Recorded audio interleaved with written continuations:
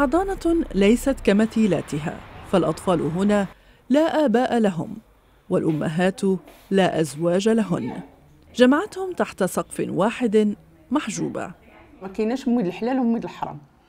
القضية كلها كقضية كاينة امي بدأت محجوبة عملها مع الأمهات العازبات في ثمانينيات القرن الماضي.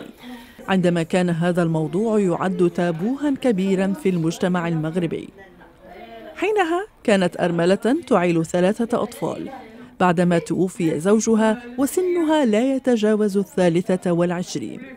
وتدريجيا تحول العمل إلى قضية تؤمن بها بقوة.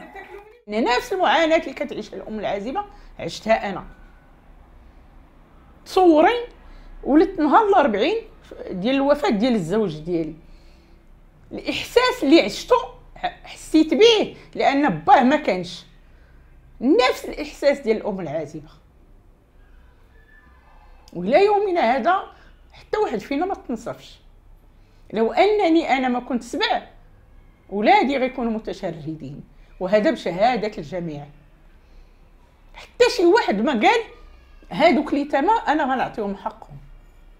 أنا أنا قلعت اليوم وبنفس الشراسة التي دافعت بها عن أبنائها في الماضي تحاول محجوبة الدفاع عن حقوق الأمهات العازبات.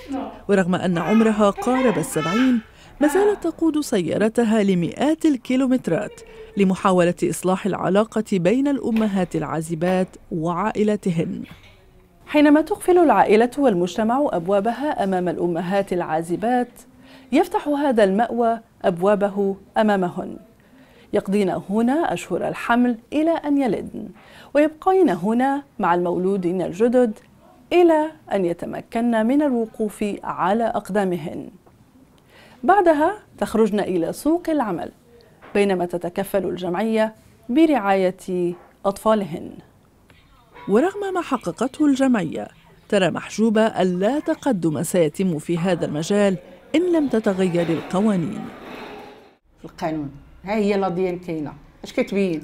كتبين بأن فعلا هذاك الراجل فسد مع ذاك المرأة وولد ولكن ما كاينش شي قانون اللي كيلزم عليه. يقول له هذاك ولدك وغتاخذو ما كاينش. الا إلا الراجل بغى لا توجد إحصائيات رسمية دقيقة حول عدد الأمهات العازبات في المغرب. وإن كانت الجمعيات الحقوقية تشير إلى أن عددهن يقدر بالآلاف. وإلى أنه في ارتفاع متزايد. كاين الغياب ديال مقرر التربيه الجنسية في التعليم. النقطة الثانية كاين العامل السوسيو اقتصادي اللي جعل البنات يهاجروا المناطق ديال العمل.